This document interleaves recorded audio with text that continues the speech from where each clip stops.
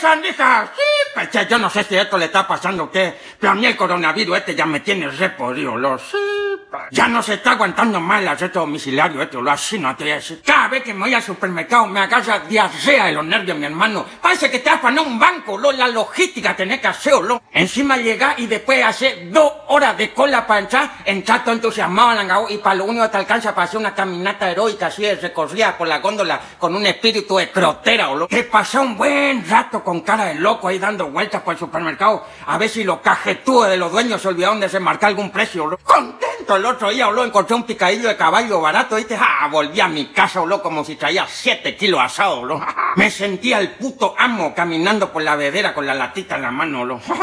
No, lo, yo te juro que la crotera que tengo, si me entra el virus, mi cuerpo lo termina metabolizando en proteína para sobrevivir, lo.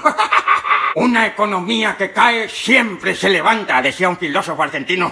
En tu planeta, mi rey, explicarle pese a mi estómago, que está haciendo piquete como hace una semana, ya se le sumaron encima toditos los órganos de mi cuerpo. El único nomás que está faltando es mi cerebelo, porque es fuerte nomás, porque si se suma algo de pelote, así, así no te digo. Ah, si la crotera no está haciendo inmune al bicho ese, bro. Olvídate, entra en nuestro cuerpo, si no tenemos nada que ofrecerle. Hoy en día, mi hermano, el único momento que me agarra fiebre es cuando yo tengo que pagar la cuenta, bro, y no tengo ni cinco. Acordate, no es lo que yo te digo, el bicho este dentro de poco no se va a ir de la Argentina, bro. Sí, pero no va a aguantar, bro. Vino a invertir acá en nuestro país, ¿no?